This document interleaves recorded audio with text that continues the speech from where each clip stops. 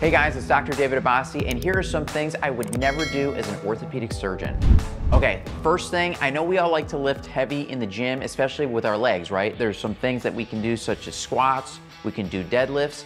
The only concern I have with that as an orthopedic surgeon is you experience what's called axial load, right? So the weight is going all through your spine and we only get one spine, so there's only so much weight that your body can handle. And if you lift too much weight, sometimes what can happen is you can experience something like a back injury or a herniated disc. And I'm sure we've seen some of these big bodybuilders like Ronnie Coleman or power lifters that experience pretty severe back injuries. All it takes is one herniated disc and then you can start having symptoms going down the leg like numbness, tingling. This is something that can bother you for a lifetime. So just be really careful when you're doing max squats or max deadlifts because all that weight going through the spine can really injure you. An alternative as an orthopedic surgeon, for example, what I like to recommend to people is to maybe go heavier on something like a leg press. The advantage of doing a leg press is, is, all that weight is not loading through your spine. And you can still lift a, a large amount of weight and grow your legs and work on your muscle mass without loading all that weight through your axial spine. Uh, and experiencing that axial load. So just one thing to consider. I know it's not going to be popular with some of the bodybuilders or some of the weightlifters, but you only get one spine. You want to make sure that you protect it. Okay, here's another thing as an orthopedic surgeon that I see all the time. Let's say you're a kid, you get angry, and you decide to take out your anger by punching a wall you're never gonna win that battle, guys. And the other thing is if you're not like trained to throw a punch, you're usually gonna punch incorrectly.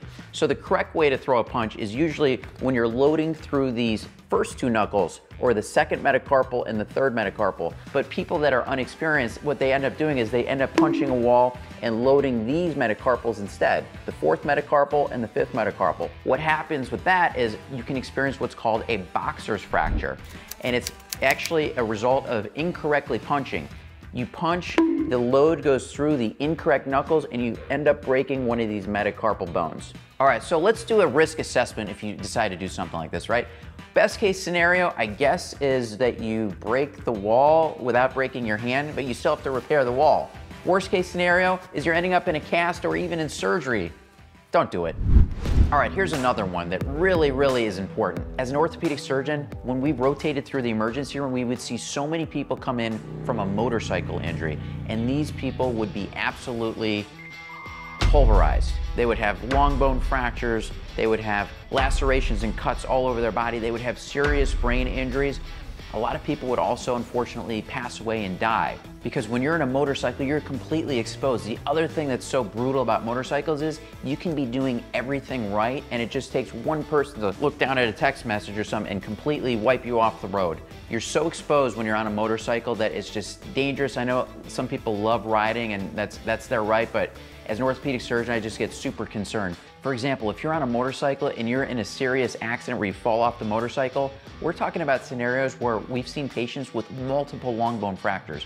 So like they break their femurs, they break their tibias, they break their humerus, they break their forearms, and all of these end up needing surgery. So we're like putting rods in the femur, we're putting rods in the tibia. I've been in a surgery once where we had like three or four orthopedic surgeons going at the same exact time. Two of them were working on one leg, two of them were working on another leg. Then we would go tag team the arm, and then the other arm is, is being done by another team. That patient had a horrible, horrible change in their life as a result of having to, having to ride a motorcycle and being in an accident. In my opinion, if you want that freedom, just drive a convertible instead. You're way safer. And speaking of accidents on the road, another thing I would never do is ride my bicycle with the flow of traffic. I know some of you are gonna be like, well, that's the law. Yeah, I get it, but I'm still telling you that we see these patients in the emergency room with long bone fractures, with head injuries. And again, it could be a scenario where you're doing everything right, you're minding your own business, you're staying in your little biker's lane, but Johnny's looking at his text message or Samantha's looking at her text message and swipes right into you. Unfortunately, when you're going against the car, you're gonna get crushed. You're gonna get crushed by that car.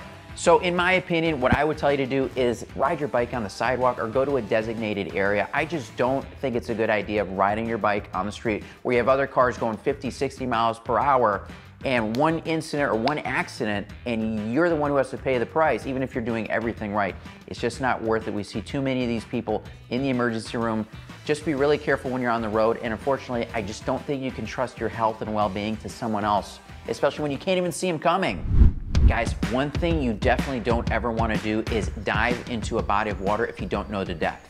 If you're at your buddy's lake house or something like that, you see the dock, you see water, but you can't see the bottom, never assume that it's deep. Because if you dive in, if you land on your head, if it's more shallow than you think, that load can go through your head and into your neck. You can actually fracture your spine. You can break your neck. You can have spinal cord paralysis. You can have spinal cord injuries. Very, very serious. You can even die. Just be careful. It's very, very dangerous. Never assume anything. If you have to, jump in with your feet. All right, here's another thing I would never do. I would never take steroids. I'm sure the short-term effects, you know, looking good, it makes your muscles grow. Yes, it does.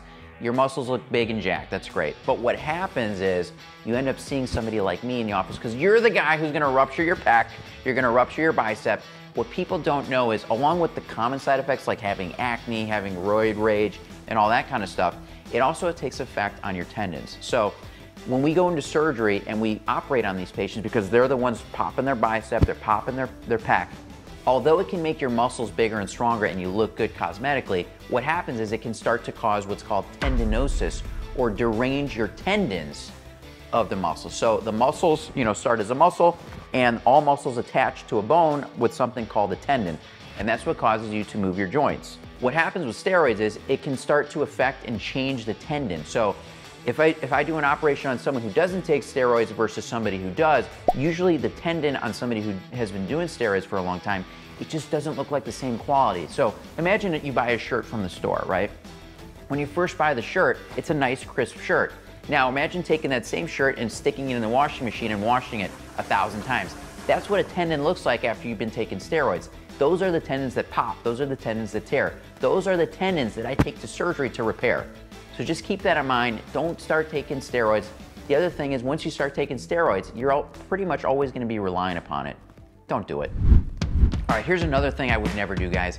Never ever put your feet up on the dashboard. You know, like you're cruising on the highway, you look over the car next to you, and like someone has their feet up on the dashboard. This is a major no-no, especially as an orthopedic surgeon, because if there happens to be an accident, what can happen is that airbag will go off, and those feet up on the dashboard those hips are in a very, very unnatural position. And the hips can get dislocated, your knee can get dislocated. You can have fractures of the legs or the, of the lower extremity. It's a very unnatural position. If you happen to get in an accident and that airbag goes off, you are most likely gonna have a very, very severe injury to your hips or your lower extremities. Don't ever do this. All right, guys, that's all we have on today's video. Hope you guys learned something. Hope you guys will actually like use some of this knowledge coming from an orthopedic surgeon and try to stay safe out there.